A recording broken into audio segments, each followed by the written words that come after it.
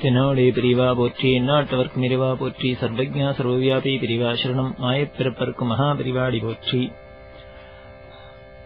श्रीकान्तो मातुलो यस्य जननी सर्वमङ्गला जनः शङ्करो देवः तं वन्दे कुञ्जराननम् श्रुतिस्मृतिपुराणानाम् आलयम् करुणालयम् नमामि भगवत्पादशङ्करम् लोकशङ्करम् अपारकरुणासिन्धुम् ज्ञानदम् शान्तरूपिणम् श्रीचन्द्रशेखरगुरुम् प्रणमामि वधान्वहम् ஆச்சாரிய தேவோபவ இது வேத வாக்கியம் வேதமே அனைத்திலும் உயர்ந்த பிரமாணம். நடைமுறையில் கூட என்ன வேதவாக்கோ என்று கேட்பதே இதற்கு சாட்சி. அப்படிப்பட்ட வேதம் சொல்றது ஆச்சாரிய தேவோபவ அதாவது குருவே கடவுள் என்று. தாய் தந்தையை கடவுளா கூறினாலும் முடிந்த முடிவான மோட்சத்தை பெற ஞானத்தை பெற குரு ஒருவருடைய புகலிடம். இத ரொம்ப அழகா ஸ்ரீ சங்கர பகவத்பாதாலும் சொல்ற சரணம் ந பவதி ஜனனி ந பிதா ந சோதராச்சான்யே சரணம் தேசிக சரணம். இது என்னென்ன முடிஞ்ச முடிவான ஞானத்தை மோட்சத்தை அடையணும்னா பெத்த தாயோ தந்தையோ மற்ற உடன்பிறப்போ உறவினர்களோ ஒத்தரும் புகலிடமாக மாட்டா குருவோட திருவடி ஒன்னே புகலிடம் என்ன ஆணித்தரமா உபதேசிக்கிறார். இன்னும் பல மகான்களை எடுத்து பார்த்தா கூட அனுபவத்தை எடுத்து பார்த்தாலும் தங்களோட இஷ்ட தெய்வத்தைகளே குருவா சொல்றத பெருசும் பெரிதும் விரும்பியிருக்கா அப்படின்னு தெரியுது இதற்கு சாட்சி லலிதா சஹஸ்ரநாமத்துல கூட அம்பாள குருமூர்த்தி குணநிதி தட்சிணாமூர்த்தி ரூபிணி சனகாதி சமாராத்யா சிவஜான பிரதாயினி அப்படின்னு சொல்றது. ஔவையார் விநாயகர கவல்ல குருவடிவாய் வந்து குவலையும் தண்ணில் திருவடி வைத்து திறமிது பொருளென அப்படிங்கிற அருணகிரிநாதர் கூட தன்னோட கந்தர் அனுபூதியில உருவாய் அருவாய் உளதாய் இலதாய் மறுவாய் மலராய் மணியாய் ஒளியாய் கருவாய் உயிராய் கதியாய் விதியாய் குருவாய் வருவாய் அருள்வாய் குஹனே அப்படின்னே சொல்ற கவிகள் வாக்கு வசந்தது.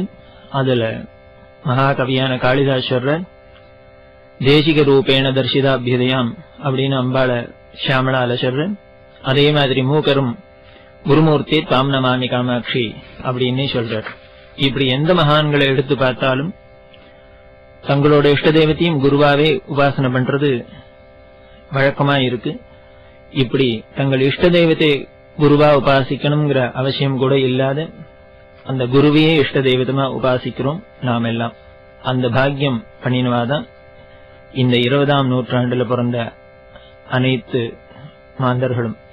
ஏன்னா இந்த பத்தொன்பதாம் நூற்றாண்டின் இறுதியில இருபதாம் நூற்றாண்டுல தான் ஸ்ரீ ஸ்ரீ ஸ்ரீ மகாபரிவாள காஞ்சி காமகோட்டி பீடாதிபதியா சாட்சாத் பரமேஸ்வரன் நம்மிடையே இருக்கிறது.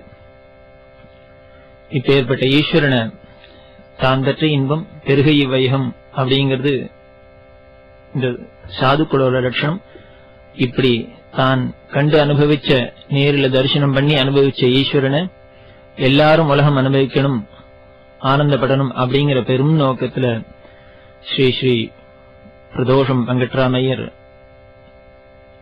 பிரதோஷம் மாமா என்று என்பால் அழைக்கப்படுறவ ஆசைப்பட்ட அந்த ஆசையின் விளைந்ததுதான் இந்த சப்தாகம் மகாபிரிவா சப்தாகம்ங்கிற இந்த பெரிய ஒரு பணி. இதோட முக்கிய நோக்கம் இந்த உலகம் முழுவதும் எப்பேற்பட்ட ஒரு அவதார காலத்துல நாம் இருந்திருக்கோம் ஒரு அவதாரத்தை தரிசனம் பண்ணியிருக்கோம் கண்ணால பார்த்திருக்கோம் பேசியிருக்கோம் அவளோட பழகிருக்கும் அப்படிங்கிற அதோட மகிமையை தெரிஞ்சுக்கணும் அப்படிங்கறதான் இதோட முக்கியமான குறிக்கோள். ஏன்னா எப்படி ஒரு ராமாவதார காலத்துல இருந்த ஜனங்கள்லாம் எவ்வளவு பாக்கியசாலிகளும் எப்படி ஒரு கிருஷ்ணாவதார காலத்துல இருந்த ஆயப்பாடி ஜனங்கள்லாம் பாக்கியசாலிகளோ எப்படி ஒரு பகவத்பாதாள் அவதார காலத்துல இருந்த ஜனங்கள்லாம் பாக்கியசாலிகளோ அதே போலதான் இந்த இருபதாம் நூற்றாண்டுல பெரியவா திரு அவதார காலத்துல நாம் கூடவே இருந்து அவளை அனுபவிக்க முடிஞ்ச நாமளும் அதே பாக்கியசாலிகள். அப்பேற்பட்ட அவளோட அளவிலா மகிமையுடைய அந்த மகாத்மியத்தை எப்படி ஸ்ரீமத் பாகவதம் ஏழு காண்டமா சப்தாகமா பாராயணம் பண்றோமோ? எப்படி ராமாயணம் ஏழு காண்டமா பாராயணம் பண்றோமோ? அதே போல இன்னும் மகிமையுடையது அத்தனையுமே ஏழு ஏழா இருக்கு. மோட்சபுரி ஏழு மோட்சணதி ஏழு சங்கீதத்திலையும் எடுத்துட்டா சப்தஸ்வரங்கள் ஏழா இருக்கு. இப்படி அநேகம் சிறப்பு வாய்ந்த ஏழா இருக்கிற மகாபெரிவாளோட மகிமைய முதல்ல அவதார காண்டமா அவ சாட்சாத் பரமேஸ்வர ஈஸ்வர அவதாரம் அப்படிங்கறத பல விதங்களையும் நாம் அலசி பார்த்து தெரிஞ்சுக்கிறோம். விஜய யாத்ரா காண்டம் என்று அவ பதிமூணு வயசுல ஆரம்பிச்ச விஜய யாத்திரைய தொண்ணூறு வயசு வரைக்கும் இந்த பாரத தேசம் முழுக்களும் மூணு தரம் வலம் வந்தத விஜய யாத்ரா காண்டத்துல அவ வெறும் யாத்திரை மட்டும் பண்ணல போன இடங்கள்லாம் நித்தியம் ஒரு அதிசயம் அற்புதம் மிராக்கள் நடக்காத நேரம் இல்ல. அப்பேற்பட்ட அந்த அதிசயங்களை அற்புதத்தை மிராக்களை பார்க்கிறோம் அற்புத காண்டத்துல அவ ஜெகத்குருவா இந்த லோகம் உலகம் மாந்தர்கள்லாம் நேர்வழிப்பட்டு நல்வழி அடைய செய்த உபதேசங்களை உபதேச காண்டம் அப்படி உபதேசம் பண்ணினா மட்டும் போராது. அந்த உபதேசத்தை நாம் கடைபிடிக்கிறதுக்கு அனுகிரகம் அவாதான் பண்ணணும். அந்த பலத்தை நமக்கு அவாதான் கொடுக்கணும். அத அனுகிரக காண்டத்துல ஸ்மரிக்கிறோம். சர்வஜ்ய காண்டம். இது அதிசயமான ஒரு ஆச்சரியப்படக்கூடிய ஒரு விஷயம். எப்படி ஒரு மனித மூளைக்குள்ள இவ்வளவு விஷயங்களை அடக்கி வைக்க முடியுமா? இப்போ நாம் கம்ப்யூட்டர்ல எவ்வளவோ விஷயங்களை சேவ் பண்ணி வச்சுக்கிறோம். அதுக்கு மெகாபைட் கிகாபைட் நம்ம பவர்லாம் சொல்றோம்.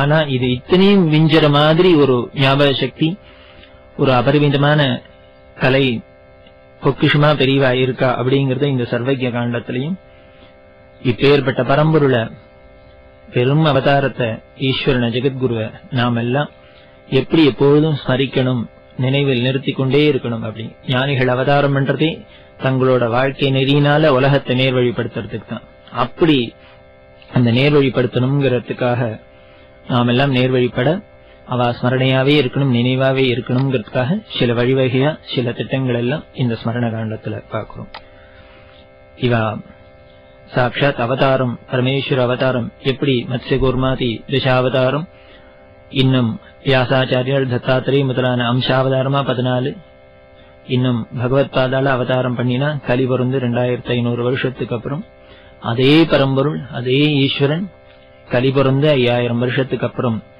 இந்த காஞ்சி காமகோடி சர்வஜ்ய பீடத்துல அறுபத்தி எட்டாவது பீட்டாதிபதிகளை ஸ்ரீ ஸ்ரீ ஸ்ரீ ஸ்ரீ சந்திரசேகரேந்திர சரஸ்வதி மகாஸ்வாமிங்கிற திவ்ய திருநாமத்தோட பக்தர்களாலெல்லாம் மகாபெரிவாள் மகாபெரிவாள் என்று காஞ்சி மாமுனி நடமாடும் தெய்வம் என்றெல்லாம் அழைக்கப்பட்ட பரம்பொருளான அவளோட திரு அவதாரத்தை இப்போ நாம் பார்க்கலாம். இந்த அவதாரத்தை அவதாரம் அவதாரம்ங்கிறது ரொம்ப சர்வசாதாரண விஷயமா நாம் நினைச்சுட்டு இருக்கோம் ஆனா அவதாரம்ங்கிறது எப்படி நாம் ஊர்ஜிதப்படுத்திக்கிறது அப்படின்னா அதுக்கு சில வழிமுறைகள்லாம் இருக்கு. அப்படி பார்த்து நாம் புத்திபூர்வமா அலசி ஆராய்ந்து பார்த்துதான் அது அவதாரம்னு தெரிஞ்சுக்கணும். இத மூணு வழியில தெரிஞ்சுக்கலாம். ஒருவரை பார்த்தோன்னே இது ஈஸ்வரனை பார்த்தோன்னே வாதான் அவதாரம் அப்படின்னு நமக்கு நம்பிக்கை ஏற்பட்டு தெரியுமே ஆனால் அது சால சிறந்தது. இன்னும் புத்திபூர்வமா சில கிடைக்கிற ரெஃபரன்ஸ் எல்லாம் வச்சுண்டு நாம் பார்த்து இவ அவதாரம் அப்படின்னு தீர்மானம் பண்ணிக்கலாம். பூர்வ அவதாரங்களோட எல்லாம் கம்பேர் பண்ணி இன்னும் வரலாறு ஜோதிஷம் இன்னும் சில இதோட நாம் பார்த்து எல்லாத்தையும் இவாதான் அவதாரம் அப்படின்னு தெரிஞ்சுக்கலாம். முதல்ல அவதாரம் அவதாரம் அப்படின்னா எந்த ஒரு காரியமே ஒரு காரணம் அவசியம் இல்லாத நடக்கிறது இல்ல எங்கேயுமே. அப்படி இருக்கிறதே ஒரு அவதாரம் ஒரு உலகத்தில் நிகழ வேண்டுமானால் அதுக்கும் நிச்சயமா ஒரு வலுவான காரணம் இருக்க வேண்டும் அதுக்கு உண்டான நேரமும் வர வேண்டும். அப்படி இருந்தால்தான் அவதாரம் நடப்பது சுலபமா இருக்கும் நடைமுறை சாத்தியமாகும். இப்படி இந்த கலி பிறந்து இந்த பத்தொன்பதாம் நூற்றாண்டுல அப்படி என்ன அவசியம் ஏற்பட்டது? அப்படின்னா எந்த ஒரு சனாதன மதம் தர்மத்திற்கு ஹானி வரும்போது தான் அவதாரம் பண்றதா கீதையில சொல்ற? இதா இதாஹி தர்மஸ்ய கிளானி பவதி பாரத அபியுக்தானாம் தர்மஸ்ய ததாத்மானம் ஸ்ருஜாமியம் அப்படின்னு சொல்ற? அதே மாதிரி எப்பெல்லாம் தர்மத்துக்கு குறைவு வருதோ அதர்மம் தலை தூக்குறதோ அப்பெல்லாம் அவதாரம் பண்றதுக்கான காலம் வருது அவசியம் வருது. அப்படி ஒரு காலம் இந்த பத்தொன்பதாம் நூற்றாண்டு இருபதாம் நூற்றாண்டுல வந்துதான்னா வந்தது. எப்படின்னா இந்த சனாதனத்துக்கும் ஞானத்துக்கும் பக்திக்கும் பிறப்படமாய் இருந்த இந்த பாரத தேசத்துல கலி வியாபார ரீதியா மேல் திசையிலேருந்து கப்பலேறி இந்த பாரத தேசத்துக்கு வந்தது. இந்த வந்த வியாபாரத்துக்கு வந்தது வியாபாரமாட்டும் இல்லாத இந்த ஜனங்களோட மனசெல்லாம் குழம்பு முடியுமா மாறு முடியுமா விகாரப்பட முடியுமா ஆச்சு. இதுக்கு பக்கபலமா அநேக விஞ்ஞான வளர்ச்சிகள்லாமும் உறுதுணையா இருந்தது. இதனால தங்களோட ஆத்ம கஷேமத்தை செல்ஃப் ரியலைசேஷன் அப்படின்னு சொல்ற இதிலேந்து ஜனங்கள் விலகி போய் கண்டதே காட்சி கொண்டதே கோலம் அப்படின்னு எல்லாம் போக முடியுமான ஒரு நிலைமை ஏற்பட்டது. அதனால் பகவான் தன் அவதாரம் பண்ணணும் அப்படிங்கிற அவசியம் வந்துடுத்தாக நினைத்தார். இந்த அவதாரத்திற்கு பண்ணும்பொழுது மூணு பணி முக்கியமா பகவான் செய்யறார் அப்படின்னு இதுவும் கீதையிலே சொல்லியிருக்கு. என்ன அப்படி என்றால் பரித்ராணாய சாதுனாம் வினாசாய சதுஷ்கிருதம் தர்ம சம்ஸ்தாபனார்த்தாய சம்பவாமி யுகே யுகே அப்படின்னு சொல்றார். சாதுக்களை காப்பதற்கு துஷ்டர்களை அழிப்பதற்கு இதன் மூலமா தர்மத்தை நிலைநிறுத்துதல். இதுதான் மூணு பணி. அப்படி பார்த்தா நாம் பெரியவ அவதாரத்துல இந்த மூணு பணியும் நடந்ததா அப்படின்னா நிச்சயம் நடந்தது. எப்படி? இங்க சரித்திரானாய சாது நாம் சாதுக்கள் காக்கப்பட்டார்கள் அப்படிங்கிறது உலகம் அழிந்த விஷயம். பெரியவா சாதுக்கள் அத்தனை பேரும் பெரியவாள சரணாகதி பண்ணியிருக்கா அத்தனை பேரையும் பெரியவா காப்பாத்திருக்கா எல்லாரையுமே காப்பாத்திருக்கா இது நிச்சயமா தெரியுது தர்ம சம்ஸ்தாபனார்த்தாய சம்பவாமி அப்படிங்கிற தர்மத்தை நிலைநிறுத்துதல் பெரியவா அவதாரம் பண்ணினத்தினால்தான் இன்றும் இந்த விஞ்ஞான வளர்ச்சிகள் மிகவும் பிரபலமாய் இருக்கிற இந்த காலத்துல கூட நாம் இன்னமும் தர்மத்தை கடைபிடிக்கிறோம் தர்மத்தை பத்தி பேசுறோம் அப்படின்னாலே இதுவே போரும் பெரியவாளோட அவதாரத்தினாலதான் இந்த தர்ம சம்ஸ்தாபனம் நடந்துருக்கு தர்ம சிந்தனை நமக்கு இருக்குங்கிறதுக்கு. இந்த இரண்டாவதான ஒரு பணி சொன்னோம் வினாசாயச்ச துஷ்கிருதாம்னு அதாவது துஷ்டர்களை சம்ஹாரம் பண்றது. இது எப்படி பெரியவா அவதாரத்துல நடந்ததா அப்படின்னா நிச்சயம் நடந்தது எப்படி என்றா இது துஷ்ட நிகிரகம்னு தெரியாத நடந்தது. இதுதான் ஒரு பெரிய பேர் அதிசயம் இந்த கலியின் விசேஷம் என்னன்னா இதுல நல்லது எது கெட்டது எதுன்னு பிரிச்சு ஜனங்கள் பாகுபடுத்தி பார்க்க முடியாத இருக்கிறது தான் அந்த மாயையில புத்தி மயங்கிறது தான் கலியோட விசேஷமே.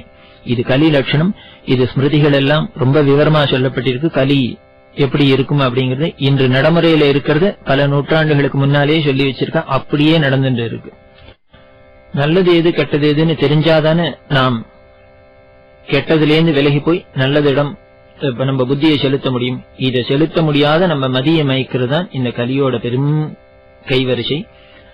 இது உலக நடைமுறையில நாம் நிறையவே கண்கூடாவே பாக்குறோம் நல்லதுக்கும் கெட்டதுக்கும் வித்தியாசம் தெரியாது. இதுக்கு மேல இன்னும் ஒரு விபரீதம் என்னன்னா நல்லது எது கெட்டது எது தெரியாதோட இல்ல.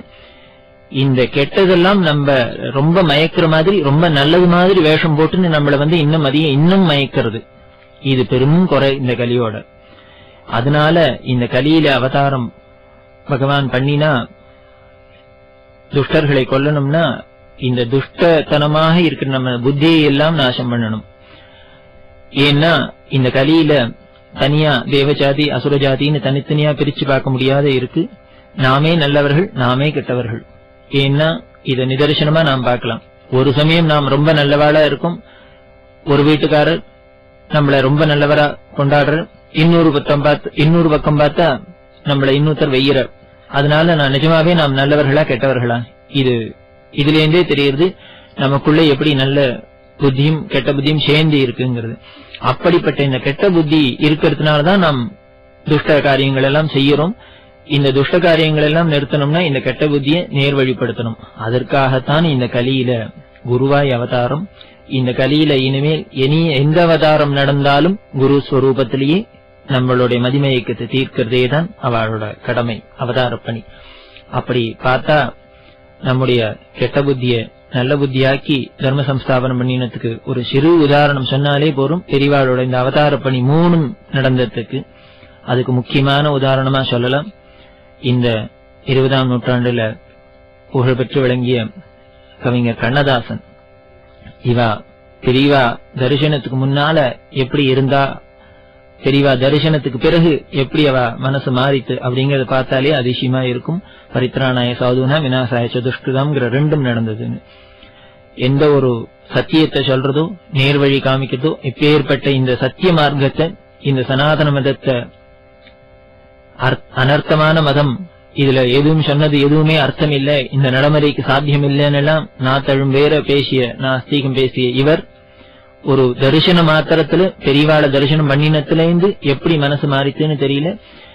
இவர் வாயாலேயே அர்த்தமுள்ள இந்து மதம் எதெல்லாம் அர்த்தம் இல்லாதது அப்படின்னு சொன்னாரோ அதையே அர்த்தமுள்ள இந்து மதம் அர்த்தமுள்ள இந்து மதம்னு ஒவ்வொன்னுத்துக்கும் எவ்வளவு ஆள் பொருள் பதிஞ்சிருக்கு அப்படின்னு சொல்ல முடியுமா வச்சா தெரியவா இதுதான் பரித்ராணாய சாதுனா வினாசாய சதுஷ்கிருதம்ங்கிறதுக்கு ரொம்ப ஆழமான உதாரணமா காமிக்கலாம். இது மாதிரி அநேகம் பேர் தங்கள் வாழ்க்கையில அவ தரிசனத்தை பண்ணி தங்கள் மனச மாறி நேர் வழிபட்டிருக்கா இன்னும் தர்ம சம்ஸ்த வழியில நடந்து போயின்னு இருக்கா இதுதான் அவதாரத்தோட முக்கிய பணி. இத பெரியவா அவசியம் பண்ணியிருக்கா பெரியவா மேலும் அவதாரம் அவதாரம் பண்ணினா எப்படி சாதாரண ஒரு குடும்பத்துல போய் பிறக்க முடியும்? நிச்சயம் இருக்காது.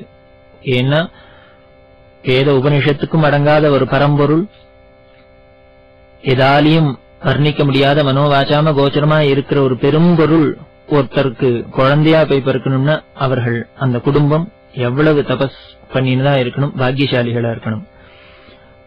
அப்படி பார்த்தா எப்படி ஒரு தசரத மகாராஜா வசுதேவர் இன்னும் சிவகுரு இவெல்லாம் தபஸ் பண்ணாலோ அதே மாதிரி தபஸ் பண்ணின ஒரு பெரும் குடும்பம் இந்த பெரியவாளோட பூர்வாசிரம தந்தையான ஸ்ரீ ஸ்ரீ சுப்பிரமணிய சாஷிகள் அப்படிங்கிற மகான். இவாளோட குடும்பம் கன்னட ஹொய்சால கன்னட வகுப்பை சேர்ந்தவா ஸ்மார்த்த குடும்பம். இவா ஹரித கோத்திரத்தை சேர்ந்தவர்கள். இவர்களோட பூர்வீகர்கள் தஞ்சாவூர் ராஜாக்களின் ஆதரவினால காவேரி கரை தீரத்துல பல இடங்கள்ல கஷேத்திரங்கள்ல இவர்கள் எல்லாம் தங்கியிருந்தா அதுல ஒரு குடும்பம் மத்தியார்ஜுன கஷேத்திரம் என்று சொல்லப்படக்கூடிய திருடமருதூருங்கிற கஷேத்திரத்துல குழந்தைக்கு பக்கத்துல இந்த குடும்பம் தங்கி இருந்தது இது மிகவும் உயர்ந்த குடும்பம் ஞானத்திலையும் பக்தியிலையும் பழுத்த குடும்பம்.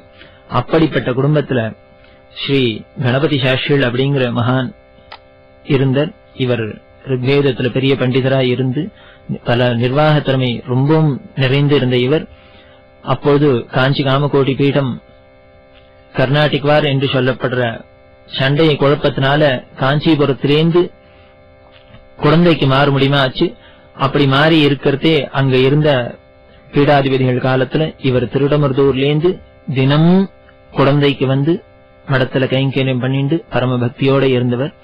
இவர் மடத்துக்கு அநேக நிலபலன்கள்லாம் வாங்கி கொடுத்து தங்கள் உடல் பொருள் ஆவி அத்தனையும் அர்ப்பணம் பண்ணி கைங்கரியம் பண்ணினவர். இப்படி குரு கைங்கரியம் பண்ணினோட பாக்கியம் இவருக்கு இரண்டு புத்திரர்கள் பிறந்தார்கள். அதுல ஒரு புத்திரர் ஸ்ரீ சுப்பிரமணிய சாஷிகள் இவரும் வேதத்தை அத்தியனம் பண்ணி அந்த காலத்துல பிரபலமாய் இருந்த ஆங்கில கல்வியும் படித்து இவர் பள்ளிக்கூடத்துல வாத்தியாரா உத்தியோகம் பார்த்திருந்தார். இவர் தன்னோட பதவியில உயர்ந்து எஜுகேஷன் டிபார்ட்மெண்ட்ல பெரிய அதிகாரியா இருக்க முடியுமா? பதவிக்கு உயர்ந்தார் இதனால் இவர் கும்பகோணம் பரங்கிப்பேட்டை சிதம்பரம் திண்டிவனம் விழுப்புரம்னு பல ஊர்லயும் உத்தியோகத்துல இருந்தார். இப்பேற்பட்ட மகான் தான் இந்த அவதாரமான பெரிவாழ புத்திரனா அடையறதுக்கு பாக்கியம் பண்ணவர். இப்படி பித்ருவம்சம் தான் இவ்வளவு வசந்ததுன்னா தாயார் வழியை எடுத்துன்னா இதை விட வசந்ததா இருக்கு. மகான் கோவிந்த தீக்ஷதர் என்று ஒரு கன்னட வகுப்பைச் சேர்ந்தவர்கள் இவர்களும் ஹொய்சால பிராமணர்கள். இவர்களும் காவேரி கரையின் இன்னொரு க்ஷேத்திரமான திருவையாத்துக்கு பக்கத்துல ஈச்சங்குடி அப்படிங்கிற ஒரு கஷேத்திரம் இருக்கு. இந்த ஈச்சங்குடியில இவர்கள் இருந்தார்கள். இந்த கோவிந்த தீட்சிதர் நாயகம் என்னும் மூவருக்கு மதிமந்திரியா இருந்தவர் அநேக தர்மங்களை செய்தவர். இவர் ஐயன் என்றே பட்டப்பெயரால் அழைக்கப்பட்டவர். இன்னைக்கும் ஐயன்குளம் ஐயன்பேட்டை ஐயன் தெரு ஐ- இதெல்லாம் எல்லாமே அவரால் ஏற்படுத்தப்பட்டதுதான். ஐயன் என்றாலே கோவிந்த தீட்சிதர் அப்படிங்கிற ஒரு அடைமொழியினால அழைக்கப்பட்டவர். இவரது வம்சத்தில் ஸ்ரீ நாகேஸ்வர சாஷிகள் என்ற ஒரு மகான் இருந்தார். இவர்தான் நமது பிரிவாளோட தாய் வழி பாட்டனார். எப்படி கணபதி சாஷிகள் புத்திர வம்சமாய் பௌத்திரனாய் சாட்சாத் ஈஸ்வரனை அடையறதுக்கு பாக்கியம் பண்ணாரோ அதே மாதிரி இந்த நாகேஸ்வர சாஸ்திரிகள் தௌஹித்திரனாய் பெண்மொழி புத்திரனாய் இந்த பரம்பொருளை பேரனா அடையறதுக்கு பாக்கியம் பண்ணினவர். இந்த இரு வம்சமும் கல்வி கேள்விகள்லாம் சிறந்து ஒழுக்க ஆச்சாரசீலர்களா இருந்ததுனால இந்த நாகேஸ்வர சாஸ்திரிகள் தன்னுடைய குமாரத்தியான மகாலட்சுமி அம்மாளை மாதுஸ்ரீ மகாலட்சுமி அம்மாள் தான் தாயாரோட பூர்வாசிரம பெரியவாளோட பூர்வாசிரம தாயார். இவாளுக்கும் இந்த கணபதி சாஷியோட குமாரர் சுப்பிரமணிய சாஸ்திரிகளுக்கும் ஈச்சங்குடியில் ரொம்ப விமரிசையாக திருமணம் நடந்தது. கன்னிகாதானம் எல்லாம் விதிவித்தாய் நடந்து இவர்கள் இல்லறத்தை நல்லறமாய் நடத்தி வந்தார்கள். இப்படி எந்த குறையும் இல்லாத இவர்களுக்கு அஷ்ட ஐஸ்வர்யங்களும் பொங்கி இருந்தது. அதே போல் புத்திரபாகியமும் ஏற்பட்டது. முதலில் புத்திரன் பிறந்தவுடன் குல வழக்கப்படி கணபதி என்று தங்களுடைய தகப்பனார் பெயரை வைத்தார் சுப்பிரமணிய சாஸ்திரிகள் இது குடும்பத்தில் முதல்ல பிள்ளை பிறந்தா தாத்தா பேர் பெண் பிறந்தா பாட்டி பெயர் வைக்கிறது தான் நமது மரபு. பேருக்குடையவன் பேரு பேரிக்குடையவள் பேத்தி. இந்த உறவே பேரையினால் தான் ஏற்படுகிறது. அப்படி கணபதி என்று வைத்தார். வைத்து நாளொரு மேனியும் பொழுது ஒன்றுமாய் வளர்ந்து வருகிறதால் இவர்களுக்கு இன்னொரு குறையே இருந்தது. என்னவென்றால் இந்த முதல் குமாரர் பிறந்து பத்து வருடம் இவர்கள் அடுத்த குழந்தைகள் இல்லாமல் ஏங்கினார்கள். இது ஏன் என்றால் அந்த காலத்துல ஒரு பிள்ளையா இருந்தால் ஒரு குழந்தையா இருந்தால் குறப்படக்கூடிய காலம் அது. ஒரு பிள்ளை வம்சம் அப்படின்னு தனிமரம் தோப்பாகாது என்று இப்பொழுதும் பழக்கத்தில் இருக்கு. அதனால் இன்னொரு குழந்தை வேண்டும் என்று இவர்கள் பத்து வருடம் தபம் இருந்தார்கள். இவர்கள் பக்தியில் மிகுந்தவர்களான தங்களுடைய குலதெய்வமான சுவாமிமலை சுவாமிநாத சுவாமி வேண்டி தபஸ் இருந்தார்கள் இன்னும் அநேக விரதங்கள் உபவாசங்கள்லாம் இருந்து தனக்கு இன்னொரு குழந்தை புத்திரபாகியம் வேண்டும் வேண்டும் வேண்டும் என்று தபஸ் இருந்தார்கள் இது எதனால் என்றால் பகவான் அவதாரத்துக்கு உண்டான அவசியம் ஏற்பட்டால் அவதாரம் செய்வார். இருந்தாலும் எதையுமே ஒருத்தர் கேட்டு ஒரு காரியம் செஞ்சால் அதுக்கு தனி மகிமை மகத்துவம். அதனால தான் அவதாரம் பண்ணணும் என்று நினைத்தாலும் தன்னை அவதாரம் செய்ய வேண்டும் என்று தேவதைகள் எல்லாம் பிரார்த்திப்பதாகவே பூர்வ புராணங்களில் எல்லாம் பார்க்கிறோம். அதே மாதிரி ஒரு தாய் தந்தையிடம் தனக்கு வந்து மகனாக பிறக்க வேண்டும் என்று பிரார்த்திப்பதாகவே பார்க்கிறோம். அதே ப்ரொசீஜர் படிதான் இங்கும் நடந்தது. இந்த தாய் தந்தையர் வேண்டியதன் தொகுப்பையினால் பெரிவா திருவதாரம் இந்த குடும்பத்தில் நடந்தது. இது தேவதைகள் எல்லாம் கேட்டு நடந்ததா உண்டா அப்படி என்றால் அதுவும் இருக்கிறது. வண்ணச்சிரபம் தண்டபாணி சுவாமிகள் என்ற ஒரு மகான். இவர் வள்ளலார் மாதிரி சதை ஹிருதயத்தோடு அன்பே வடிவாய் எல்லா உலகம் ஊரிலும் யாத்திரை செய்து வந்தார். இவர் விழுப்புரத்தில் உள்ள வைகுண்டவாச பெருமாள் என்ற கோவில் கோவில் சென்று பாடும்போது பெருமாளை பார்த்து பாடினார் வையமகள் அழக்கண்டும் இறங்கார் போர் துயிர் கூறல் வழக்கன்று என்று. இதில்தான் நமது அவதாரத்திற்கான பிரார்த்தனை ஏற்படுகிறது. அதாவது நிலமகள் தன்னுடைய பூபாரம் தாங்காமல் அழுது அழும்பொழுது நீ இப்படி படுத்துன்னு தூங்குறியே இது நியாயமா என்று இந்த கவி கேட்கிறார். இது பூமாதேவி சார்பில் கேட்டதினால் உலகமாந்தர் அனைவரும் அவதாரம் பண்ண வேண்டும் என்று பிரார்த்தித்தாக ஆகிறது. இதனால் பரம்பொருள் தான் அவதாரம் செய்வதாக நிச்சயம் செய்து கொண்டார். இப்படி எல்லோருடைய பிரார்த்தனையும் பலித்தது இந்த பெற்றோர்களின் பிரார்த்தனையும் பலித்தது இப்பேற்பட்ட மிகச்சிறப்பு வாய்ந்த ஒரு தருணத்தில் ஈஸ்வரன் அவதாரம் நட- நிகழ்ந்தது.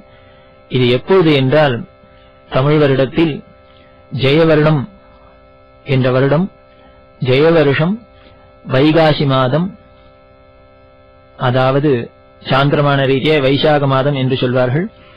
வசந்த ருது அதில் எட்டாம் தேதி அதாவது ஆங்கில வருஷத்துல ஆயிரத்தி எண்ணூத்தி தொண்ணூத்தி நாலாம் வருடம் மே மாதம் இருபதாம் தேதி ஞாயிற்றுக்கிழமை கிருஷ்ணபக்ஷ பிரதமை திதியில் அனுராதா நட்சத்திரத்தில் சிவநாம யோகத்தில் பகல் ஒன்னு பதினாறு மணிக்கு சிம்ம லக்னத்தில் சாட்சாத் பரம்பொருள் வேத உபநிஷத்துக்கும் எட்டாத பரம்பொருள் இந்த கலியின் கொடுமையை தீர்க்க நாமெல்லாம் நல்வழிப்பட திருக்குமரனாய் அவதாரம் செய்த காஞ்சி காமகோட்டி ஜெகத்குருவாய் நமக்கு ஒளிர்வதற்காக குருவடுவாய் ஒளிர்ந்து நமக்கெல்லாம் நல்வழிப்படுத்த திரு அவதாரம் செய்தார்கள் திரு அவதாரம் செய்தார்கள். இப்பேற்பட்ட இந்த திரு அவதாரம் மிகவும் ஒரு சுபசகுனமான காலமாக இருக்கிறது. இந்த கால வருஷ நேர ஸ்தல மகிமையெல்லாம் சிறப்பை எடுத்து பார்த்தால் கொட்டி கிடக்கிறது. இப்படி ஒரு அதிசயமா எப்படி எல்லாம் ஒன்னு சேர்ந்தது? அனைத்து நலங்களும் ஒன்று சேர்ந்து இருக்கே ஒரே சமயத்தில் அப்படின்னு. அப்பேற்பட்ட பரம்பொருள் அவதாரம் பண்ணின ஸ்தலம் விழுப்புரம் என்ற ஸ்தலம் இதை வில்வபுரம் என்றும் அழைப்பார்கள். சாட்சாத் பரமேஸ்வரன் அவதாரம் செய்வதற்கு ஏத்த ஸ்தலம் ஈஸ்வரனுக்கு பிடித்த வில்வபுரமான விழுப்புரம். இந்த விழுப்புரம் என்ற வார்த்தைக்கு என்ன அர்த்தம் என்றால் தமிழில் விழு என்றால் உயர்ந்த மகிமை வாய்ந்த அப்படி என்று அர்த்தம். விழு விழுமிய என்பது உயர்ந்த என்று அர்த்தம். இதனாலேதான் வள்ளுவர் கூட ஒழுக்கம் ஒழுக்கம் தருதலால் ஒழுக்கம் உயிரினும் ஓம்பப்படும் என்று சொல்கிறார். நேர்மை ஒழுக்கமாக இருப்பது உயர்வை தருவதால் நேர்மை உயிரை விட மதிக்கப்படும் என்று சொல்கிறார். இங்கு விழுமிய என்ற பொது பொருளையே கொடுக்கும் பதத்தையே போடுகிறார். இது உயர்வு என்று அர்த்தம். அதனால் எல்லாவற்றையும் விட உயர்ந்த வரம்பொருளான நமது பெரியவா அவதாரம் பண்ணின ஊரும் சாதாரணமாவா இருக்கும்? அதுவும் இருக்கிறதுலே ஊர்களுக்கெல்லாம் தலையாய உயிரான விழுமிய ஊராகத்தான் இருக்கும். அதனாலேயே இதுக்கு ஸ்தல சிறப்பு பெருமை அடைகிறது. இன்னும் கூட சொல்லப் போனால் இன்னும் இதுக்கு அநேக சரித்திர சிறப்புகள்லாம் கூட கிடைக்கிறது. இந்த ஊருக்கு பல்லவர்கள் ராஜ்யத்தில் இருந்ததால் விஜயன் ரிபத்துங்கன் என்ற ஒரு ராஜா இவன் பிரசித்தமான மகாபலிபுரம் கோவிலை கட்டிய மகேந்திரவர்ம பல்லவனுக்கு ஏழு தலைமுறை பின்னால் வந்தவர் இவர் தன்னுடைய அரிசிலாறு வெற்றியை கொண்டாடும் முகமாக இந்த கிராமத்தை அந்தணர்களுக்கு நான்மறை அந்தணர்களுக்கு பூதானமாக கொடுத்தார். ராஜாக்களின் சம்பிரதாயம் தங்கள் வெற்றியை கொண்டாடுவதற்கு பூதானம் செய்வது இன்னும் ஆலயம் கட்டுவது இதெல்லாம் அந்த காலத்தில் சம்பிரதாயமாய் இருந்ததுனால இந்த அரிசிலாறு ஜெயத்திற்கு இந்த விழுப்புரத்தை நான்மறை அந்தணர்களுக்கு தானமாக கொடுத்தார். எப்படி வேதத்தை தர்மத்தை காக்க அவதாரம் பண்ணின பரம்பொருளுக்கு அவதாரம் பண்ணின ஸ்தலமுமே நான்மறை அந்தணர்களுக்கு தானமாக கொடுக்கப்பட்டது அப்படிங்கிறது பெரும் விசேஷமா இருக்கு. இதுல என்ன ஒரு சிறப்பு என்றால் இந்த விழுப்புரத்திற்கு அந்த ராஜா இட்ட பெயர் விஜய நிருபதுங்க ஜெயந்தாங்கி சதுர்வேதி மங்கலம் என்று பெயர் கொடுத்தார். விஜய நிருபதுங்கன் என்பது ராஜாவின் பெயர். சதுர்வேதி மங்கலம் என்பது நான்மறை அந்தணர்களுக்கு தானமாக கொடுக்கப்பட்டது. இந்த விஜய ஜெயம் தாங்கி என்பதில் தான் நமது பெரியவாளோட திருவதாரத்தின் ரகசிய குறிப்பு கிடக்கிறது. என்னன்னா விஜய ஜெயம் தாங்கி அதாவது விஜயம் தீம் ஜெயத்தையும் தன்னுடன் சேர்த்து நிறுத்திக் கொண்டு அப்படின்னு அர்த்தமாறுது நாம் நேர்ல பாக்குறோமே விஜய ஜெயந்தாங்கி என்பது விஜயேந்திர சரஸ்வதிகளையும் ஜெயேந்திர சரஸ்வதிகளையும் தன்னுடன் தாங்கிக் கொண்டு நமக்கெல்லாம் காட்சி கொடுத்த இதை குறிப்பால் உணர்த்துகிற இந்த ராஜா வைத்த பெயர். இதற்கு இன்னும் பல சிறப்புகள் இருக்கிறது. இது இருக்கும் நாடு தமிழ் பண்டைய தமிழ் மரபில் நடுநாடு என்று சொல்லப்படுகிறது. இந்த நடுநாடு என்ற சிறப்பே பெரிவாளோட குணத்திற்கு ரொம்ப பொருத்தமாயிருக்கு இது மட்டும் இல்ல இவர்கள் பிறந்த அவதாரம் பண்ணின நாடும் நடுநாடு. பிறந்த நேரமும் பார்த்தால் சரியாக சூரியன் நடுவானத்தில் இருக்கும் உச்சி காலமான பகல் ஒன்னு பதினாறு மணிக்கு ஒரு மணி பதினாறு வினாடிக்கு. சூரியன் மாலையில் மேற்கு திசை பக்கம் சாஞ்சிருக்கு காலையில் கிழக்கு திசை பக்கம் சாஞ்சிருக்கு இந்த உச்சி காலத்துல மட்டும்தான் எந்த பக்கம் சாயாத நேர நடுநாயகமாய் இருக்கிறார். அதே போல் பிறந்த கிழமையும் ஞாயிற்றுக்கிழமை இந்த சோலார் சிஸ்டத்துல கூட சூரியன் தானே மத்தியில் இருக்க மற்ற கிரகங்கள்லாம் அதை சுத்தி வரதா இருக்கு. அதே போல் எப்படி ஒரு வேதத்தில் பரம்பொருள் நடுவர் இருக்கோ அதை சுத்தி எல்லாருமே எல்லா தேவதைகளும் இயங்குகிறதோ அதே போல் அந்த வேத பரம்பொருள் தான் நம் தெரிவா அப்படிங்கிறதுக்கு இவர்கள் பிறந்த ஞாயிற்றுக்கிழமையும் இவர்கள் பிறந்த ஒரு மணி பதினாறு வினாடியும் இந்த நடுநாடும் சாட்சி. இந்த நடுநாட்டில் அவதாரம் பண்ணினத்தினால்தான் போல இருக்கு. இந்த ஞாயிற்றுக்கிழமையில் அவதாரம் பண்ணினத்தினால் போல இருக்கு. இந்த உச்சி வழியில் அவதாரம் பண்ணினத்தினால்தான் போல இருக்கு. உலகத்தில் உள்ள அத்தனை மதத்தவர்களும் அத்தனை ஜாதியினரும் அத்தனை மாந்தர்களும் பெரிவாளிடம் மட்டும் எல்லையில்லா அன்பு பூண்டு பக்தர்களாய் சிஷ்யர்களாய் இருக்கிறத இன்னைக்கும் பார்க்கிறோம். இவர்களுக்கு எந்த மதத்தை சேர்ந்தவர்களும் இவர்களிடம் மட்டும் தனி மதிப்பும் மரியாதையும் கொண்டு இவர்களோடு கலந்து பழகி இருக்கிறார்கள் இப்படி அனைவருக்கும் பொதுவாய் எந்த ஒரு ஜாதிக்கும் தனி தனியாக இல்லாத எந்த ஒரு மொழிக்கும் எந்த ஒரு இனத்துக்கும் தனியா இல்லாத இந்த ஜாதி மதம் மொழி இனம் அத்தனையும் கடந்து ஒரே அன்புமயமாய் பிரேமஸ்வரூபமாய் பெரியவாய் இருக்கிறதுக்கு காரணமே இந்த நடுநாடும் இந்த பானுவாரமும் இந்த உச்சிகால வேலையும் தான் போல இருக்கு. இதெல்லாம் குறிப்பால் உணர்த்துக்கு தான் ஈஸ்வரன் இந்த வேலையில எல்லாம் அவதாரம் பண்ணியிருக்கார். பிறந்த வருடம் ஜெய வருடம் இது பெயரை கேட்டாலே தெரியறது ஜெயம்னாலே வெற்றியை கொடுக்கக்கூடியது. பரம்பொருள் அவதாரம் பண்றதே தர்ம சம்ஸ்தாபனார்த்தாய அப்படிங்கிறதுக்கு துஷ்டர்களை சம்ஹாரம் பண்ண வேண்டுமான பண்ணினால் கிடைக்கக்கூடியது ஜெயம்தான்.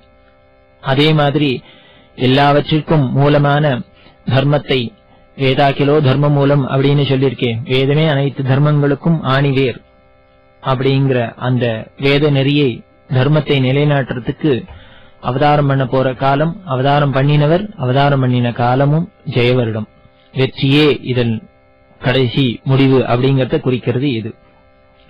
பிறந்த ருது வசந்த ருது. வசந்த ருது தான் மலர் பழங்கள் எல்லாம் மலிந்து இருக்கிற நேரம் வணக்கும் மல்லிகை முல்லை ஜாதி இன்னும் சுகந்த புஷ்பங்கள் எல்லாம் புஷ்பிக்கும் வசந்த ருது. இதில் தான் யாக யஜ்ஞாதிகள் எல்லாம் பண்றதுக்கு உசந்த காலமா சாஸ்திரங்களில் சொல்லப்படுகிறது. அப்பேற்பட்ட பருவங்களில் கிருஷ்ணர் சொல்கிறாரே ருசூனாம் குசுமாகரஹா அப்படின்னு சொல்றார். காலங்களில் நான் வசந்தம் என்று சொல்லக்கூடிய அந்த வசந்த காலத்திலேயே நமது பெரியவாள் அவதாரம் செய்திருக்கிறார்கள்.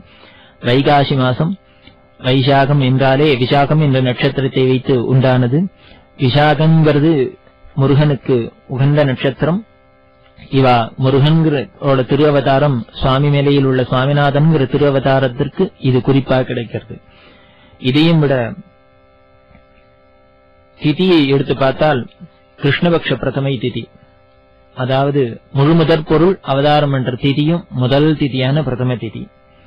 சிலதெல்லாம் நமக்கு எதெல்லாம் வேண்டாம் என்று நினைக்கிறோமோ சரியில்லை நினைக்குமோ இதெல்லாம் ஈஸ்வரனுக்கு ரொம்ப பிரியமாய் இருக்கிறது. பிரதமை அஷ்டமி நவமி பரணி கார்த்திகை என்று இதெல்லாம் நாம் ஒதுக்குறோம். இது அத்தனைக்கும் உயர்வு கொடுக்கிறார் பகவான் ஒவ்வொரு அவதாரத்தில். நவமிக்கு உயர்வு கொடுத்தார் ராம அவதாரத்தில் அஷ்டமிக்கு உயர்வு கொடுத்தார் கிருஷ்ணாவதாரத்தில் பரணி கார்த்திகைக்கு உயர்வு கொடுக்கிறார் முருகனோட அவதாரத்தினால. இன்றைக்கும் முருகன் என்றாலே கிருத்திகை பரணியில் கொண்டாடுகிறோம். இந்த பிரதம ஒண்ணுதான் விட்டு போயிருந்தது.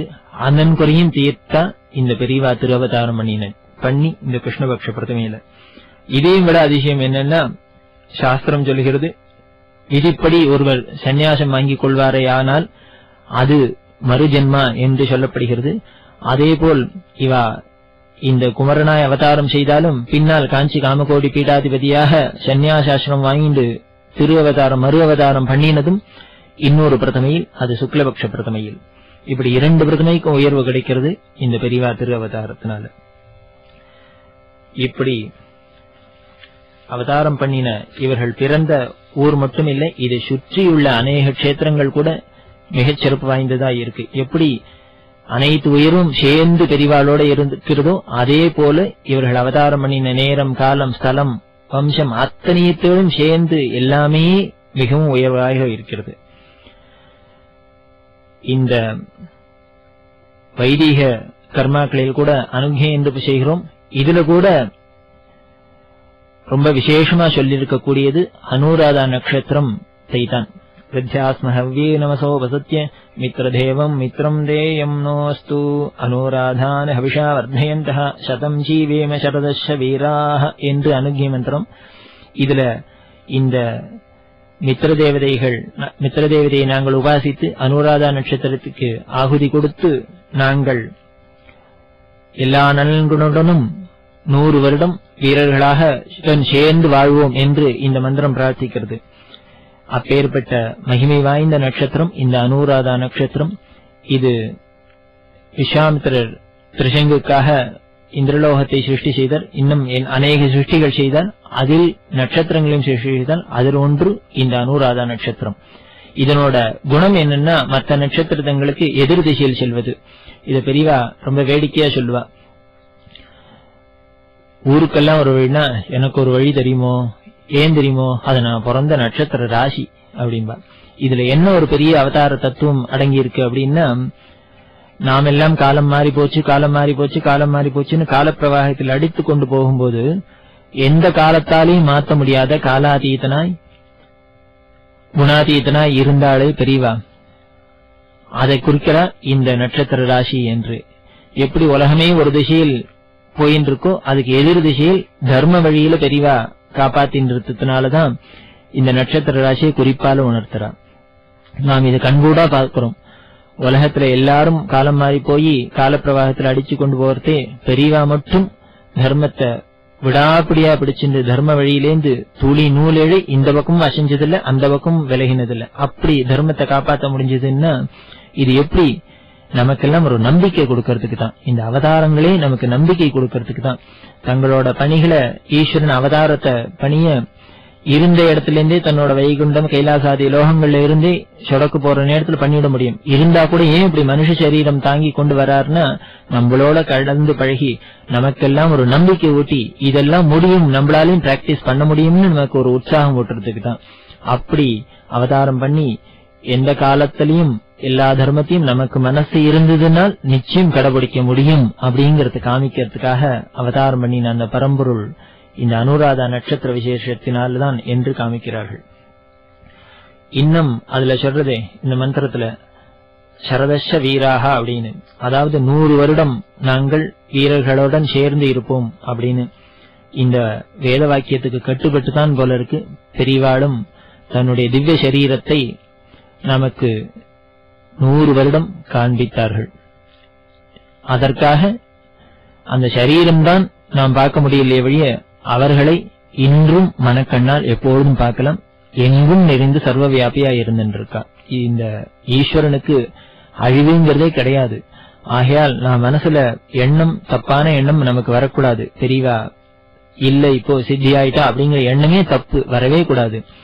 எப்படி இந்த உலகம் துன்பத்துல அகப்பட்டிருக்கோ நம்மள மாதிரி மாந்தர்கள்லாம் இருக்கணும் அது வரைக்கும் அது வரைக்கும் மீறியும் ஈஸ்வரன் எப்பொழுதும் நமக்கெல்லாம் இருந்து வழிகாட்டியா இருந்துட்டே இருக்கான். அதனால் இந்த சரத சரண் சதம் சரதஷ வீராக என்ற வாக்கியத்திற்கு ஏற்ப போல இருக்கு நூறு வருடம் தன்னுடைய திவ்ய சரீரத்தை நாம் எல்லாம் தரிசனம் செய்ய காமித்தார்கள் ச வீராக என்று சொல்லியிருக்கே அப்படின்னா வீர தீரம் வீரர்களுடன் என்று சொல்லியிருக்கே அப்படின்னா பெரிவா என்ன வீரம் அப்படின்னா ஔவையார் மிக அழகா சொல்றாரு வீரம் என்றா எந்த வீரம்? இத்தனை கிலோ வைத்து அத்தனை கிலோ வைத்து இதை வச்சா வீரத்தை குறிப்பிடுறது இல்லவே இல்லை. புலனைந்தும் என்றான் தன் வீரமே வீரம் அப்படின்னு. யாரு தன் ஐம்புலன்களையும் அடக்கி ஆடுறோனோ அவன்தான் வீரன். புலனடக்கம் இல்லாத யாரு எத்தனை வீரமா இருந்தானே எவ்வளவு பேரை வச்சு கொண்டான அது அத்தனை வீரத்தோட சேர்த்து கிடையாது. புலனடக்கம் ஒன்றே வீரமான வீரம் நிஜமான வீரம். அப்படி புலனடக்கம் ஜிதேந்திரியன் என்ற பதத்துக்கு நேர் உதாரணம் ஒரு உருவம் காமிக்க முடியும்னா அது பெரியவாளா தான் இருக்க முடியும். அது என்ன ஒரு கடுமையான தபசு என்ன ஒரு புலனடக்கம்? ஆஹா இந்த ஒரு வீரமே போராதா இவாளுக்கு? உதாரணத்திற்கு. இன்னும் ஒரு விசேஷம் என்னன்னா இவர்கள் அவதாரம் பண்ணின தெரு முதற்கொண்டு சிறப்பு வாய்ந்ததுதான். இவர்கள் அவதாரம் பண்ணினது அனுமார் கோவில் தெரு. இந்த அனுமார் கோவில் வந்ததே ஒரு பெரிய சுவாரஸ்யமான விஷயம். ஒரு அன்பருக்கு இருநூறு வருடங்களுக்கு முன்னாடி கனவு வந்தது. அதுல கொல்லிமலை அடிவாரத்தில் ஒரு புத்திற்கு அடியில் தான் இருப்பதாக அனுமார் கனவில் வந்து தன்னை எடுத்து கோவில் கட்டுமாறு சொன்னான். அங்கு போய் பார்த்தால் புத்தை எடுத்து பார்த்தால் அதில் ஒரு அனுமாருக்கு இரண்டு அனுமாராக இருந்தார் அவர் உடனே ஆனந்தப்பட்டு எடுத்துக்கொண்டு இந்த அனுமார் கோவில் தெருவில் கோவில் கட்டி பிரதிஷ்டை செய்தார். இப்படி இருநூறு வருடமாக இந்த அனுமார் காத்து கொண்டிருக்கிறார். ஒரு பெரிய அதிசயத்தை தரிசனம் பண்ண. என்ன அந்த அதிசயம் என்றால் ஆஞ்சநேயர் கிருஷ்கிந்தா காண்டத்திலிருந்து தான் தமக்கு பிரியமான ராமரை தரிசனம் பண்ற அதுக்கு முன்னால அவரோட திரு அவதாரத்தையும் பால லீலைகள் எல்லாம் பார்த்தது கிடையாது. அதனால ஆஞ்சநேயர் தன் குறையை போக்கிக்க இந்த இதே ராமச்சந்திரமூர்த்தி இதே தர்மஸ்வரூபம் இன்னொரு தரம் அவதாரம் செய்யும் அந்த சமயத்தில் நாம் பார்த்துக் கொள்ளலாம் என்று நினைத்தார். அதனால்தான் இப்படி இந்த அனுமார் கோவில் தெருவில் அவதாரம் பண்ண போற பெரியவாள இந்த ராமச்சந்திரமூர்த்திய தர்மஸ்வரூபத்தை அவதாரத்தை பார்க்க அந்த பாலலீலையை பார்க்க இப்படி வந்து இருநூறு வருடமா காத்து கொண்டிருக்கிறாள் என்று தெரிகிறது. இப்பேற்பட்ட பரம்பொருள் அவதாரம் பண்ணின குலம் காலம் நேரம் இதெல்லாம் இடம் இதெல்லாம் தான் மிகவும் மகிமை வாய்ந்தது மட்டுமல்ல. இவர்களை சேர்ந்த அனைத்துமே மகிமை உள்ளதா இருக்கு. அப்பேற்பட்ட மகிமையில அந்த நாம மகிமையும் ரூப மகிமையும் சிறிது பார்க்க வேண்டும். அவசியம். தியாக பிரம்மம் சொல்றாரு பவமான சுதறுபட்டு நீ நாம ரூபமுலக்கு நித்திய ஜெயமங்கலம் என்று. மகான்கள் இறைவனை சொல்றதே இறைவனுடைய திருவுருவத்தை விட முக்கியத்துவம் கொடுப்பது இந்த நாமத்துக்கு தான் அவர்களுடைய பெயருக்கு தான் ஒருவருடைய பெயரே மிகச் சிறப்பு வாய்ந்தது. பெயர் சொல்ல ஒரு பிள்ளை என்கிறோம். இந்த பெயருக்கு அவ்வளவு தனி விசேஷம் இருக்கிறது. இந்த கலியில கூட உபாசனையில் ஞான மார்க்கத்தில் முக்கியமா சொல்லியிருக்கிறது நாம உபாசனை.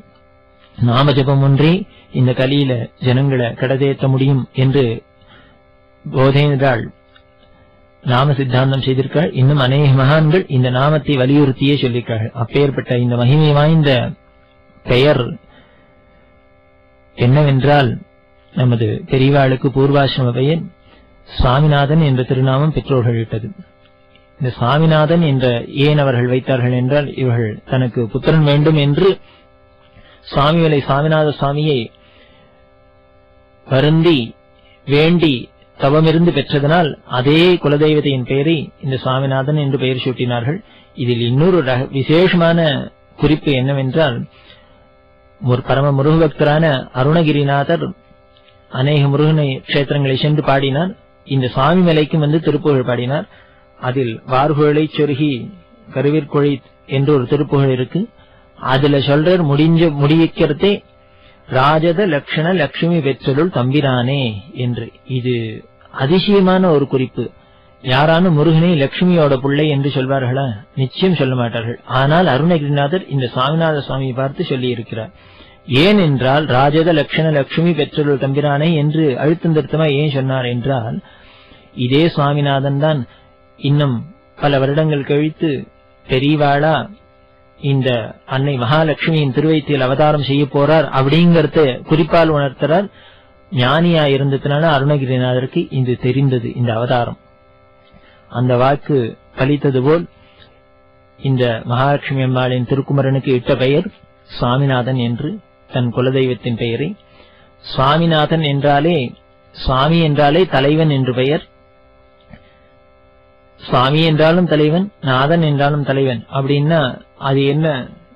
தலைவனுக்கு தலைவனா அப்படின்னா இந்த சுவாமி என்ற பதத்திற்கு அர்த்தம் சொல்லும்போது என்ன சொல்கிறது என்றால் அனைத்து உலகத்தையும் அனைத்தையும் தன்வசமாக அடக்கி ஆள்பவன் என்று அர்த்தம் சொல்லுகிறது.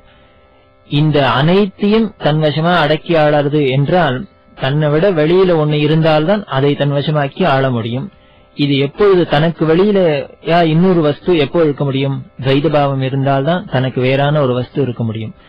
இந்த துவைத பாவத்தில் தான் தமக்கு நமக்கு வேறான வஸ்து ஒன்று இருக்கிறது. அதையெல்லாம் அடக்கி ஆள்பவன் சுவாமி என்று ஆகிறது ஆனால் நம் பெரியவாளோ முடிந்த முடிவான சத்தியமான அத்வைதத்தை போதிக்க வந்தவர்களா இருக்கிறதுனால இந்த துவைத பாவமும் அடிபட்டு அந்த துவைத பாவத்தில் இருக்கிற சுவாமியும் தீம் தனக்குள் அடக்கக்கூடியவன் தனக்குள்ளாகவே ஆக்கி கொண்டு தானாகவே ஆகக்கூடியவன் அதற்கும் தலைவன் அந்த சுவாமிக்கும் நாதன் என்ற உணர்த்தவே சுவாமிநாதன் என்று இதில் இவர்களுக்கு திருநாமம் ஏற்பட்டது.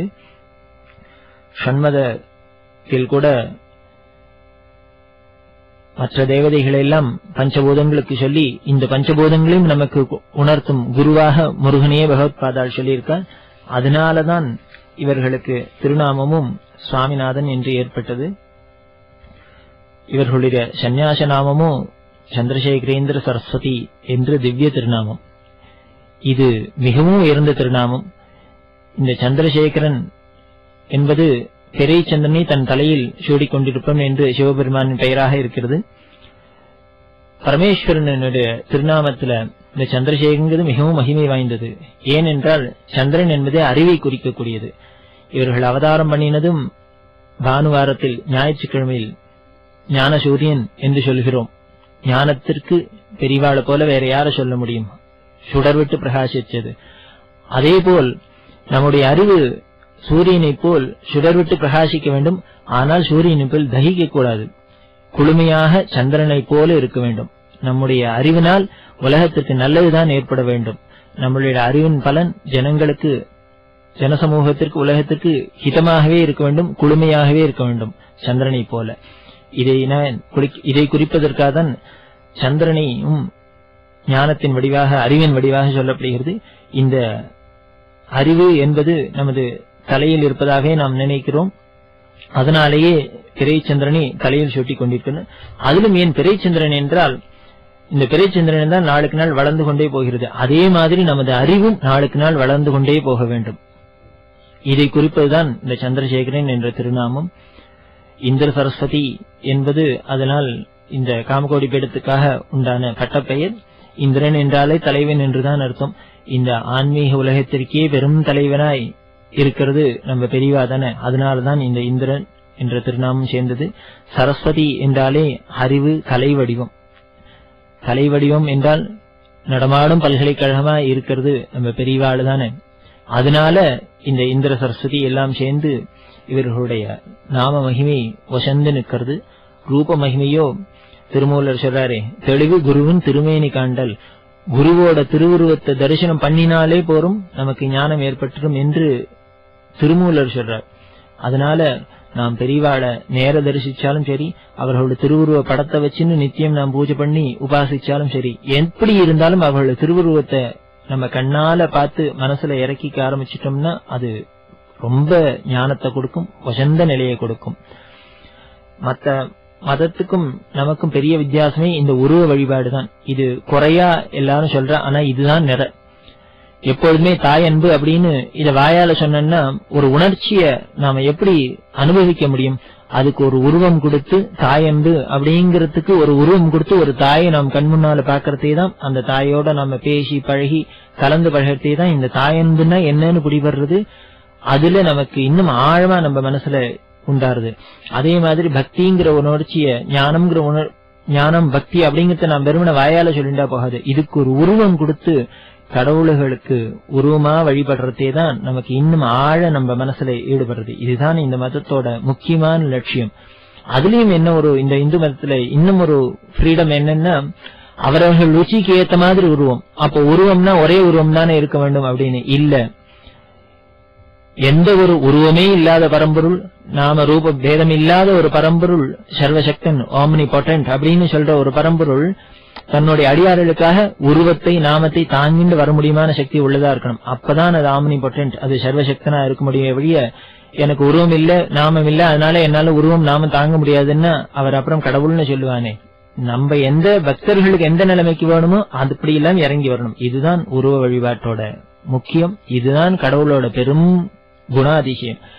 அதனால் அப்பேற்பட்ட அந்த திருவுருவத்தை நாம் எவ்வளவுக்கு எவ்வளவு மனசுல நிறுத்தி கொண்டு உபாசிக்கிறோமோ அவ்வளவுக்கு அளவு நமக்கு பக்தி வளருது ஞானம் கிடைக்கிறது. இப்பேற்பட்ட மகிமை வாய்ந்த பரம்பொருள் மூர்த்தி சிறுசு கீர்த்தி பெருசுன்னு சொல்லுவோம். இவர்கள் என்னமோ ஆஜானுபகு உருவம் இல்ல ஐந்தடி உருவம் தான் இருந்தாலும் அத்தனை பேர் மனசையும் கொள்ளை கொள்ற ஒரு உருவம். அப்படி ஒரு வசீகரமா இருந்ததுதான் அவர்களோட உருவச் சிறப்பு இப்படி வளர்ந்த பரம்பொருள் நாளொரு மேனியும் பொழுதொரு வண்ணமமா கலந்து வரத்தே இவர்கள் கல்வி கேள்விகள்லாம் ரொம்ப பிரகாசமா இருந்தா விளையும் பெயர் முளையில் என்று சொல்லுவது வழக்கத்துக்கு மாதிரி இவர்கள் காஞ்சி காமகோடி சர்வஜ பீடாதிபதியா அலங்காரம் பண்ண போறார்கள் இவர்கள். இளமையிலேயே தெரிஞ்சது. எட்டு வயது வரைக்கும் இவர்களை பள்ளிக்கு அனுப்பாமலே தன் தகப்பனார் வீட்டிலேயே பாடம் சொல்லிக் கொடுத்தான். எட்டு வயதுக்கு மேல் இவர்களுக்கு உபநயனமாகி பள்ளிக்கூடத்தில் சேர்ந்து படிக்க ஆரம்பித்தார்கள். ஆற்காடு அமெரிக்கன் மிஷன் ஸ்கூல் தான் இந்த சாட்சாத் சரஸ்வதியை தன்னுடைய ஈஸ்வரனை தன்னுடைய மாணவனாய் அடையறதுக்கு பாக்கியம் பெற்ற பள்ளிக்கூடம்.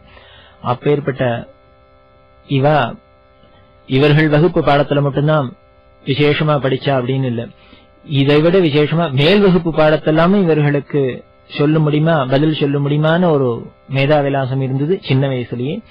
இப்படிப்பட்ட இவர்கள் தன்னுடைய உபநயனத்துக்கு பிறகு காஞ்சி காமகோட்டி பீடாதிபதியா அறுபத்தி ஆறாவது பீடாதிபதிகளாய் இருந்த ஸ்ரீமத் சந்திரசேகரேந்திர சரஸ்வதி என்பவர்கள் பெருமுக்கல் என்ற கிராமத்தில் திண்டிவனத்துக்கு பக்கத்தில் முகாமிட்டிருக்கிறதே தாய் தகப்பனார் குரு தரிசனம் செய்து வைத்தார்கள். எப்போ குரு தரிசனம் செய்தார்களோ அப்பவே இவர்களை குருவால் ஈர்க்கப்பட்டார் அப்படி ஈர்க்கப்பட்ட பரம்பொருள் எவ்வளவு இவர்களுக்குள் பிரியம் ஏற்பட்டது அப்படின்னா தன் வீட்டுல கூட சொல்லிக்காத குருவை தேடி மடத்துக்கு போக முடியுமா? தன்னுடைய நண்பரை அழித்துண்டு அந்த அளவுக்கு இந்த குரு தரிசனம் இவர்களை ஆட்கொண்டது.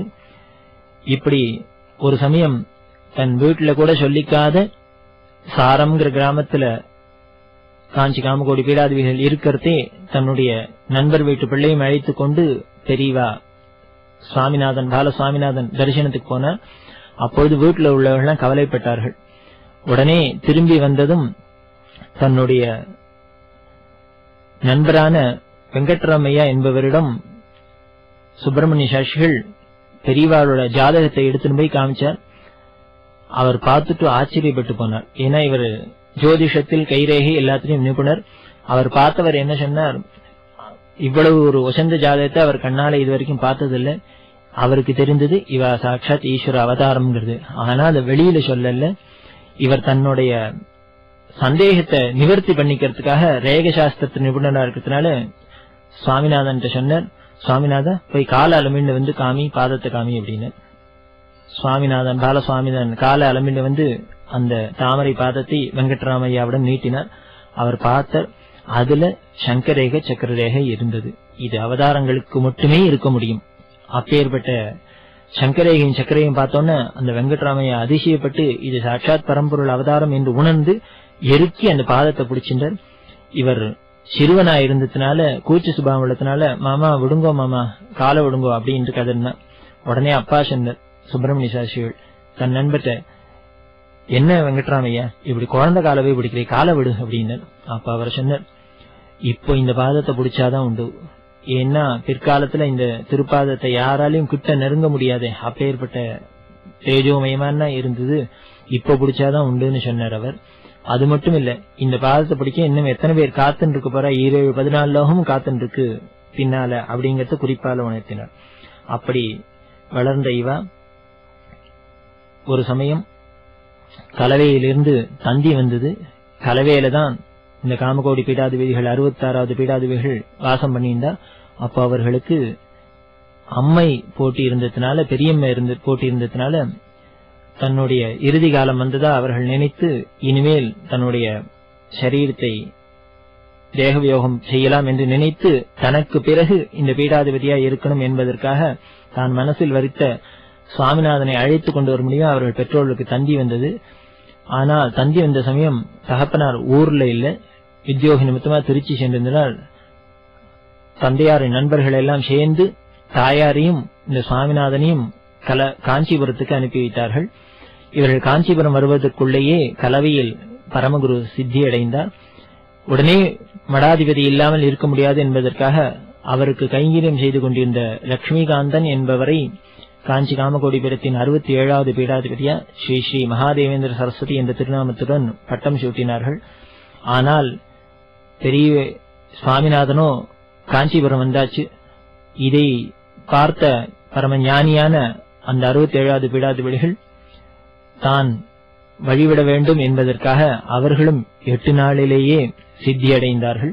உடனேயே மடத்திலிருந்து ஆள் நேராக திண்டிவனத்துக்கு காஞ்சிபுரம் வந்து திண்டிவனம் செல்வதற்காக வந்தார்கள்.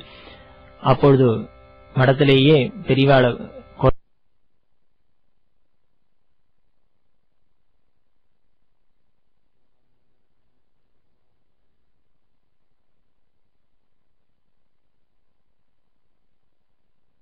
அதனால தன் தாயார் சேர்ந்து குழந்தையை மட்டும் அழிச்சுன்னு போய் கோவையிற்கு எழுது போட்டின வண்டியில அழிச்சுன்னு போய் கலவைக்கு அழிச்சு கொண்டு போனார்கள். போற வழியில வண்டிக்காரன் சொன்னார் நீங்க இனிமே திரும்பி வரமாட்டீங்க அப்படின்னு பெரியவாள்கிட்ட சொன்னார். அப்போ பதிமூணு வயசு குழந்தையா இருந்த பெரியவாளுக்கு ஆச்சரியமா இருந்தது. இப்படி ஒரு பெரும் பொறுப்பு நம்ம கைக்கு வர்றதே அப்படின்னு. இதெல்லாம் உடனே தந்தையாரும் காஞ்சிபுரம் வந்து சேர எல்லாரும் கலவைக்கு வந்தோன்னு இவர்களுடைய சம்மதத்துடன் பெரியவாளுக்கு சன்னியாசாசிரமம் கொடுக்கப்பட்டது.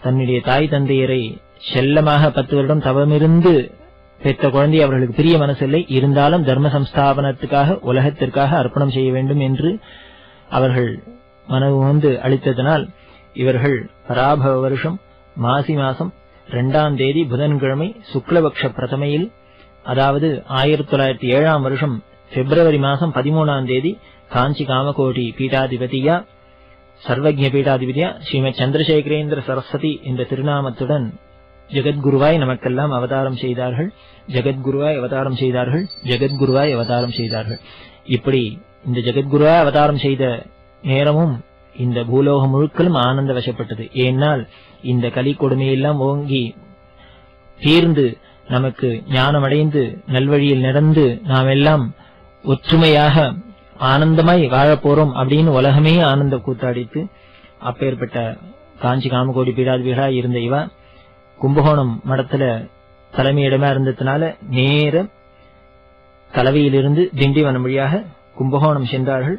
கும்பகோணத்தில் போய் பிளவங்க வருஷம் சித்திர மாசம் இருபத்தி ஏழாம் தேதி குருவாரம் சர்வஜ பீடாதிபதியா இவர்களுக்கு பட்டாபிஷேகம் நடந்தது. இவர்கள் பட்டாபிஷேகம் செய்து கொண்டு யானை மேல அம்பாரியில கும்பகோணம் முழுக்களும் பட்ன பிரவேசம் செய்து தன்னுடைய அருளாட்சியை ஆரம்பித்தார்கள்.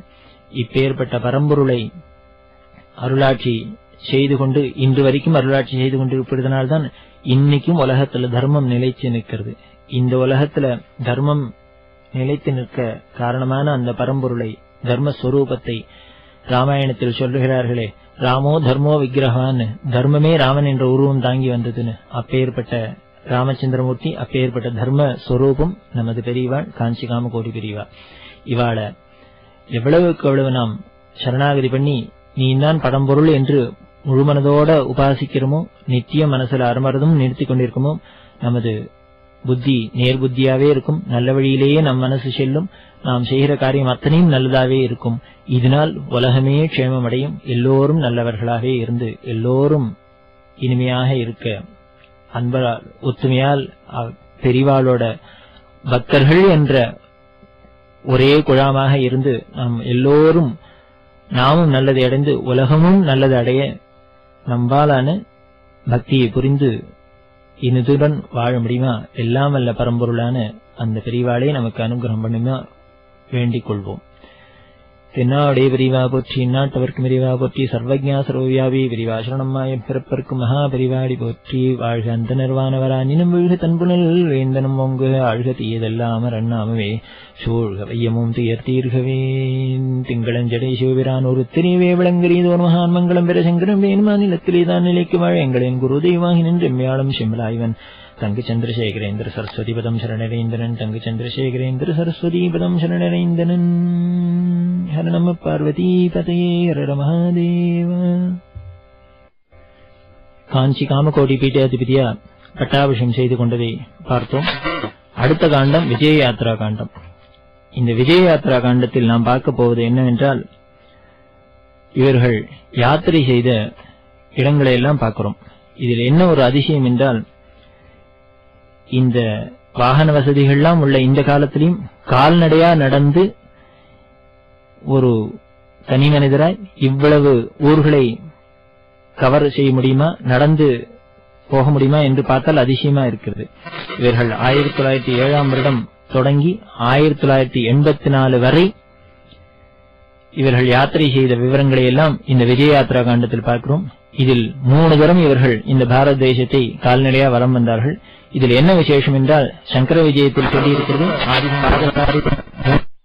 இந்த பாதவலம் இந்த பாரத தேசத்தை வந்து இறுதியில் காஞ்சிபுரத்தில் மோட்சபுரியில் சத்தியவிரத கஷேத்திரத்தில் தன்னை சர்வஜ பீடாதிபதி சத்தியம் ஏறி சித்தியானாக என்று சொல்லியிருக்கிறது. இதை மெய்ப்பிப்பது போலவே அதே சங்கரரின் ஆதிசங்க அவதாரம் என்பதை காமிப்பது போலவே இருக்கிறது. நமது பெரிவாளும் அவதாரமும்.